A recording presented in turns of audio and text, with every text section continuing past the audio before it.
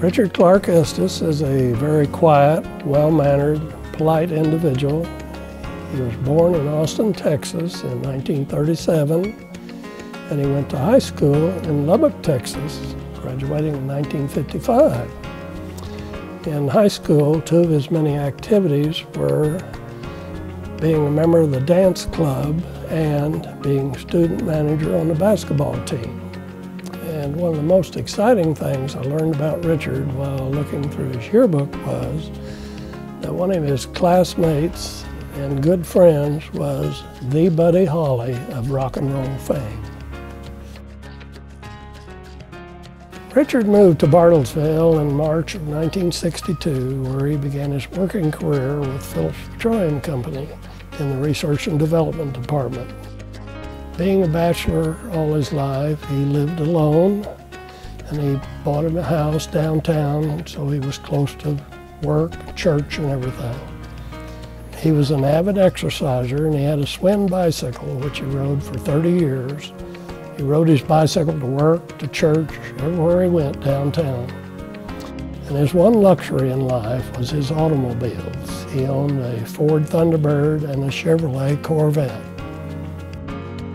We met Richard through our attendance of the First Baptist Church.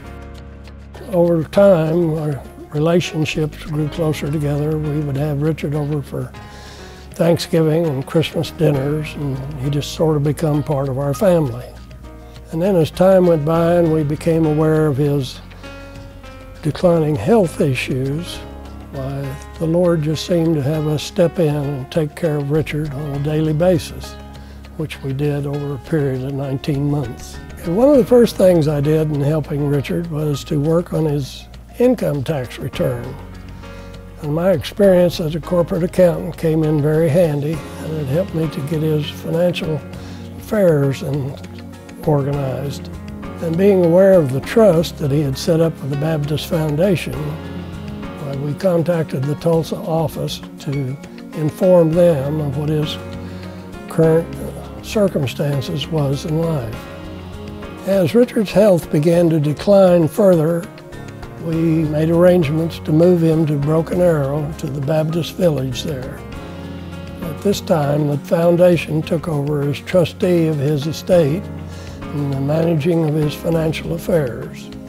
Eventually, the assets from his trust will flow through to the scholarship fund, which he had set up in his mother's name at the seminary in Fort Worth. And these funds will provide scholarships for the students there who one day will be out in the world sharing God's Word.